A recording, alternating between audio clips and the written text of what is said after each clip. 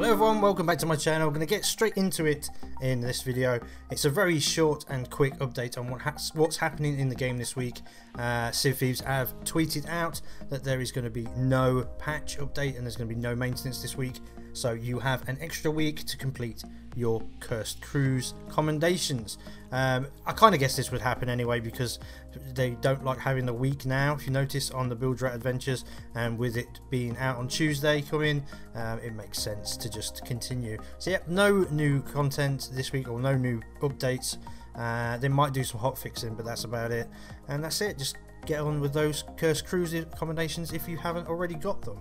That's it for today's video. I told you it was going to be very short. And uh, yeah, again, if it's been helpful, informational, uh, then to do please consider subscribing, liking, sharing, and commenting.